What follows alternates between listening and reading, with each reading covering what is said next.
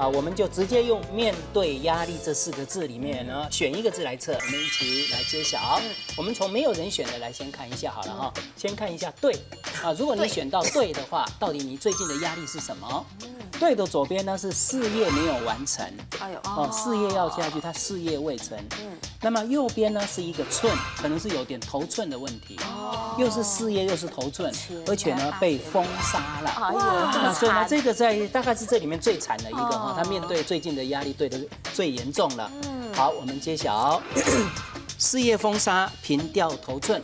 所以变成的是事业和资金方面都有压力啊，这个要好好化解。嗯，好，其实我们看一下压压的上面直接已经告诉我们很讨厌，很讨厌。讨厌的话呢，我们如果把土改成食的话呢，也叫做厌，就表示暴饮暴食。哦，吃的太多，你大概是吃的太多的事情了，让你讨厌。哦，是属于吃的方面的压力。那当然，为什么吃的太多会有压力呢？因为你的肚子会垂下来。啊，当然这是应该是吃方面的压力哦，身材的压力。饮食问题。好，我们看一下它的答案是这样：厌食、讨厌、肚子下垂，所以是面临暴冒因为那个暴饮暴食的压力。当然还包括体重的压力也算在内哦。好，下面呢我们就看一下力好了。力呢是劳力的结果。就是你花劳力的结果，却是呢没有功，哦，只好怎么样？另外想办法，嘴巴另外去想办法。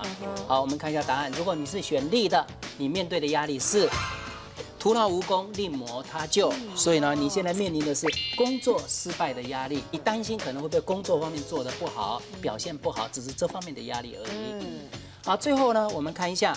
呃，唐老师跟嘉谦所选的面，面呢，它是外面是一个白，嗯，里面却是一个回，嗯，就是我们常有讲，女孩子看偷看男人，回首百回，偷偷看一下，偷偷看一下，看了一百多次，一百多次没关系啊，结果呢，你始终很腼腆，你就不敢讲，不敢表达出来，哦，所以你的压力呢，应该是爱情表达方面呢的压力，看看是不是这样子。